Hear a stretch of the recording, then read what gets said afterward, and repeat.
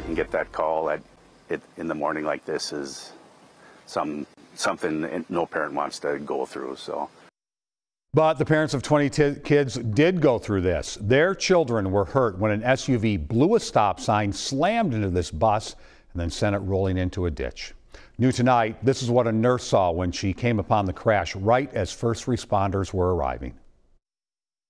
I think a lot of them were in shock, definitely the older ones. Um, the younger ones, very scared and crying. She helped to comfort those crying children, children like this woman's 13 year old daughter. She said, Our bus was in a crash. Um, and she was upset. She was actually a little hysterical when she called me.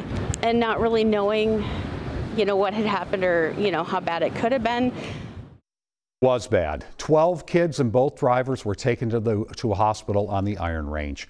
But it could have been even worse. Tonight, we've learned several of the kids had iPhones which automatically alerted 911 when that crash happened. Thankfully, they're all expected to recover. Our Ubah Ali shows us how school buses here in the metro are getting some high tech help to keep kids safe. The bus engine is on, Mike's strapped in, and it's time to roll. It's all about getting the kids safely to school. And that's usually how they get there. Federal safety leaders say students are eight times safer riding a bus to school compared to other options. There's several safety features on the outside of the school bus. We're used to seeing the red arm signal, these side cameras, and these flashing lights, but there's an added feature on the inside helping drivers get students home safely. In four years, there were nearly 2,800 school bus crashes in Minnesota. 225 students were hurt.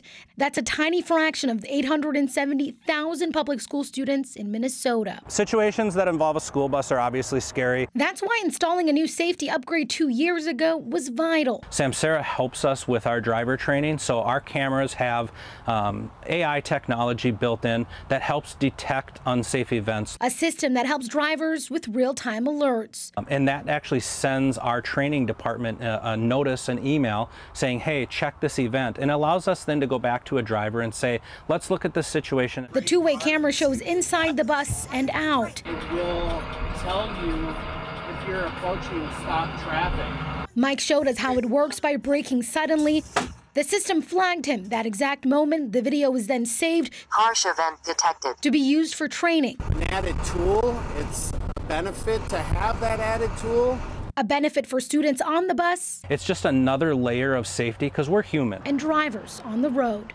Ubah Ali, WCCO News.